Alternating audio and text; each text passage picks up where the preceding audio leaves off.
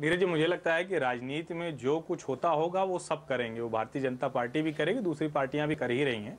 लेकिन दो तीन चीज़ें समझने की हैं। अभी जो डिनर, जिस डिनर पार्टी की बात हो रही है, उस डिनर पार्टी की कमान सोनिया गांधी को इसीलिए संभालनी पड़ी क्योंकि राहुल गांधी की अगुवाई में शरद पवार जैसे बड़े नेता या जो दूसरे बड़े नेता हैं, कितने सहज होंगे, इसमें मुझे संदेह है।